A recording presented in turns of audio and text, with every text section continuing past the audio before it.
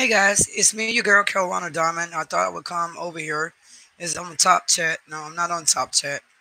Thought I would come to you guys and upload my dinner. Um, I was gonna just upload a video. I said, well, you know, I've been live all day for other people. Let me, let me go live for me and mine. So um, it's hot and it's finally cooling off, and I'm ready to eat. So tonight for dinner, I'm thinking about how to cook southern fried steaks with rice with gravy, stovetop, with maybe some squash or something good to eat. Y'all, come on, put this thing on our live chat. We're gonna head to the kitchen. We're gonna make this happen, y'all. It's too easy. First of all, guys, I already got the meat already going. I gotta unplug my laptop and take you guys with me because I've been charging it all day. And guys, if you have not subscribed to Jesus Freak, please go to his channel, like, subscribe, share him out because he's trying to get him a secret. Now, guys, I've been sitting on my behind all day. Yes, I have because it's too hot to anything. And finally, we're in the 80s because it's been 100 something degrees today, okay? But basically, what we're gonna do in this kitchen today, I know you guys can hear me because I got on my my game uh headphones. What you guys know, I'm a gamer, but today we're gonna game in this kitchen, all right? So what I've already done is I already took my cube steak out already. And basically, guys, what we're gonna do is, as you guys can see it, um, first of all, I have to clean my meat. Um, I'm gonna do. It's gonna be so easy. We're gonna keep it very simple. But first, I have um have to uh, drain my. Always washing me, guys. I don't give a damn what nobody tell you. Wash your meat because you have no idea where that meat's been processed at. And who wants bloody meat? God knows. I like mine straight up, bro. What's Alberta and Stella? Yes, honey. We finna cook this uh, steak, grilled steak, rice and squash. Something good to eat, honey. Finally cool off, honey. And uh, I was uh at Roy and Becky's travels. Told Becky that um, you know, say prayers because you lost your bird. And she's like, I miss Alberta and Stella. I said, no, honey. I talked to her in my life. You know, I mean, we all close over over there. And um, I said, uh, because you know, she's back home because she just had some kind of a surgery, some procedure done. So Roy is in um Arizona, Grand Step, and Becky is back in Indiana. So I told her, I said, yeah, I see uh, Alberta lost her bird. Pray for her. She sends her. But anyway, getting back to this, how you doing today? Is everything okay? How's the dog? And Stella. how's the dog, Stella? Doing right now is washing this meat, okay? And it's gonna be real simple, guys. I'm gonna wash my steak. You guys see the steak. I love to clean my meat. I don't care what nobody say. I'm cleaning my meat. And it's hot, y'all. So bear with me. I'm about to do this real quick to get this on so I can chill out. I am cooking four four cube steaks. That's all. All right. Nothing. You go to your local market, local butcher. Uh, if you're in your bake it up, I mean not bucket I'm thinking about Germany. Your um butcher, no matter where you are, overseas or here. Y'all get me put this on. I'm gonna read the chat, okay? Because it is hot already. I know what I'm gonna do. Ronnie, go in there get that fan.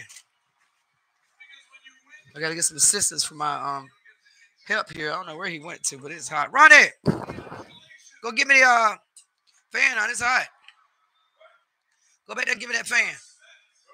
The fan. It's hot in this kitchen. He's watching uh, John Cena, y'all, so I'm not gonna bother him because he's just getting out working, working hot sun all day. So you know, if you got a girlfriend, boyfriend, significant other that works in the sun, I understand it's not easy working 100 degree weather. Even though I'm a soldier, retiree from the military, now I tell you, I've been places where you don't want to go. It's so hot, honey, like it's literally hot as hell. I don't know how hot hell is, but you know, I ain't trying to go there. But shit is hot enough for me here. How about that?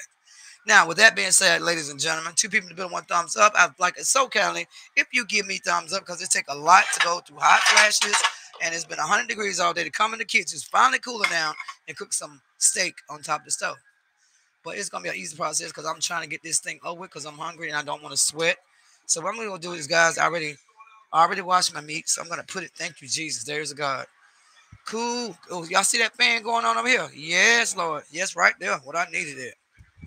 Yes, a man knows exactly how to keep a woman cool so he get something to eat on her. Still, you know what I'm saying, honey. So, what you know, even though I don't watch me, guys, I what I like to do because you know I don't like to eat bloody uh, meat. I hate it. God knows I. I'm, I'm just one of those vegetarians. You're like, oh my God, is she vegan or does she really like meat? I only really want meat, and that's cow, and sometimes some fish without the bones in it because I'm losing shellfish. But guys, I'm gonna go ahead and see what I'm doing now. And What I'm doing is literally patting the meat with a paper towel so all that drainage blood is gone off my meat because I can't stand it, honey. And then in the meantime, when I'm doing that, I'm gonna throw it away because I don't like bloody meat. I'm not a vampire, y'all. I'm just a woman who likes steak. Okay. But that is a quick way to do it, guys. See there? And I got my little handy trusty. Uh, uh, guys, if you go to the store and you get these little plastic bags, they're always good to use recycle. You know, you think to my guy ain't got no trash bags, but guess what? Sometimes you use one of those uh those trash bags and put them on your kitchen uh, cabinet. You save a lot of money by running to the grocery store all the time. We want to do all that. It's too damn hot for all that, right? But I tell you what, guys, give me one. Just gonna put these headphones. I got to get some more paper towels. I got the paper towels. Right back. One.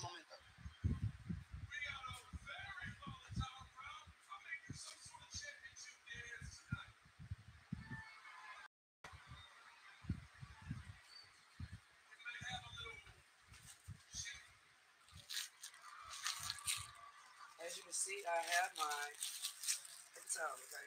First, wait a minute.